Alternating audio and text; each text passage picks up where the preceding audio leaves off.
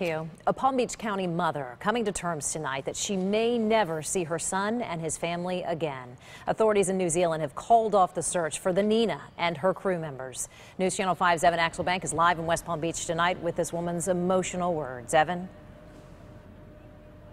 Shannon David Dyche sailed away from this marina months ago with his wife and son aboard. Now, his mother said to me today that if he was going to die young, he'd want it to be at sea.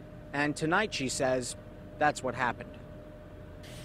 Tonight, David Dyche's mother is beginning her own journey, one without her son, grandson, and daughter in law. Carol Dyche got the final phone call from search crews last night. I collapsed in bed and I do what I always do when I'm feeling awful. I clutch my cat. This after a month of hoping from afar.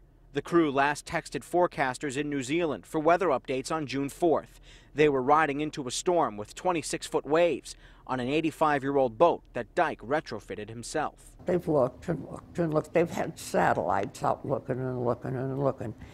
And all they see is nothing. Along with three crew members, Dyche's wife and son were sailing on the Nina with an urn, an urn carrying the ashes of Dyche's father, David I, who was also a sailor. Son disobeyed father's wishes to have his ashes spread in a lake in upstate New York.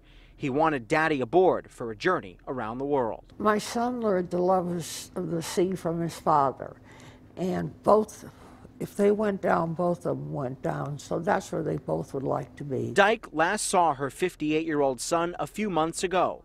She contemplates her future. I've spent most of my life with those kids. And the last words that her son said to her in person.